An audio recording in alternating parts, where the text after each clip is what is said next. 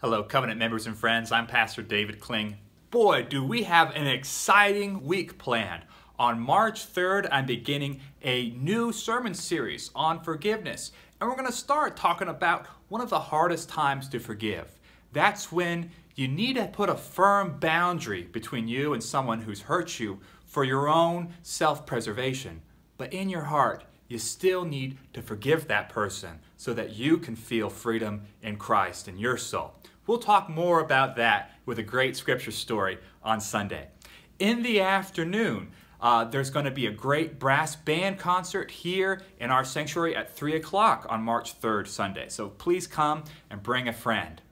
Now, Ash Wednesday is this coming Wednesday on March 6th, and we're going to do a time change. It's at 6 o'clock. 6 o'clock on Wednesday is Ash Wednesday in the sanctuary. Please come. This whole week, we're going to have a video crew who's going to be taking video and pictures so that we can update our website and have a really great way to invite friends using digital and social media.